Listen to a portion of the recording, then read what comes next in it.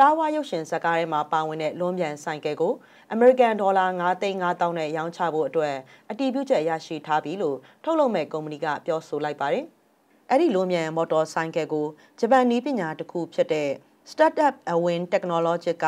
Blackjack ကုမ္ပဏီနဲ့ Pono Capital Crop တို့ကအကျိုးတူဆောင်ရွက်သွားမှာဖြစ်တယ်လို့သိရပါတယ်။ Star Wars လွန်ပြန်ဆိုင်ကယ်ကို ပြီးခဲ့တဲ့2022ခုနှစ်မှာစတင်မိတ်ဆက်ခဲ့ပေမဲ့လည်းထုတ်လုပ်နိုင်မှုအတွက်ဘဏ္ဍာငွေအခက်အခဲနဲ့ကြုံတွေ့ခဲ့ရပြီးနောက်မှာအခုလိုသဘောတူညီချက်ထွက်ပေါ်လာတာပါ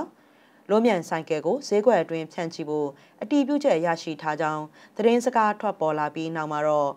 Pono Capital Crop ကုမ္ပဏီရဲ့ share ဟာ24ရာခိုင်နှုန်းတက်သွားခဲ့ပြီး2021ခုနှစ်နောက်ပိုင်းအကြီးမားဆုံးအမြင့်ရရှိခဲ့တာလည်းဖြစ်ပါတယ်။ Startup အဝင် Technologies ကုမ္ပဏီဟာ drone နဲ့ဆက်ဆက်နည်းပညာတွေကိုအဓိကရောင်းချနေတဲ့ကုမ္ပဏီဖြစ်ပါတယ်။အခုထုတ်လုပ်မဲ့ Star Wars လွန်မြန်ဆိုင်ကယ်ဟာမိနစ်40အထိပြန်တန်းနိုင်ပြီးတနာရီကို62မိုင်အထိမောင်းနေနိုင်တယ်လို့ Startup အဝင် Technology ကုမ္ပဏီကဆိုပါတယ်။ဒါအပြင်ပြန်တန်းနိုင်မှုအတွက် Kawasaki Heavy Engine နဲ့ Battery စနစ်ကိုအဓိကအသုံးပြုထားပြီးအရေးပေါ်အခြေအနေတွေမှာလည်းဘယ်နေရာမှာမဆိုဆင်းသက်နိုင်မှုဆောင်ရွက်ထားတယ်လို့သိရပါတယ်။